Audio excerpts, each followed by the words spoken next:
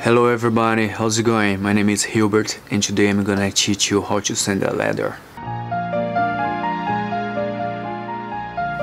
So, first thing, get the envelope. Second thing, you should get the stamp as well because if you don't get you wouldn't be able to send it. Third thing will be the letter. Put the letter inside of the envelope and then stick the stamp on the corner of the leather. And there's one thing that I didn't know.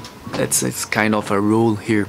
You always have to write the return address and the address of the person that you're gonna send in the same page, in the same side of the envelope. So don't do that one in one side and another one to the other side because you're gonna get trouble.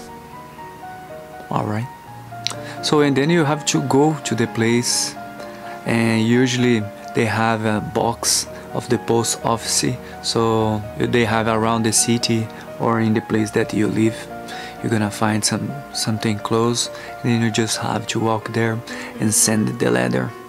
You just put the letter through the the hole and I think that's it. And then you just have to wait for the letter.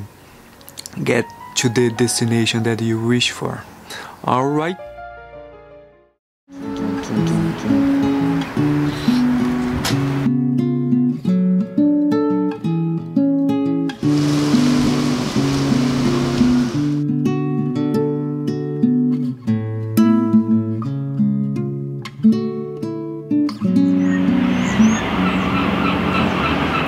Love is a dog from hell.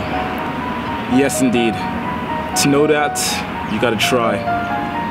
In a corridor with narrow walls, the smell of garbage juice. There was an animal, very kind and nice. Soft speaking, good looking. Inside, he was different. A dirty mind was built with a structure of many levels each one with a particular shade and characteristic.